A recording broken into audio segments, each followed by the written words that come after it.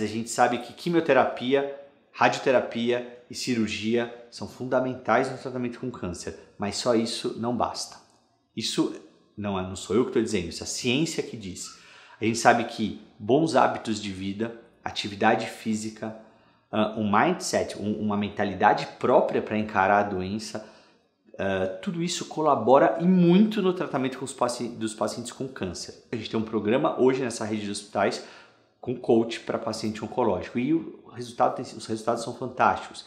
Aumenta a satisfação do paciente, tem diminuído o número de internações de procura ao pronto-socorro, aumenta o vínculo do paciente com a instituição. E a gente tem dados que mostram que os pacientes que têm um vínculo maior com a instituição, eles vivem mais. Isso foi apresentado na ASCO dois, três anos atrás.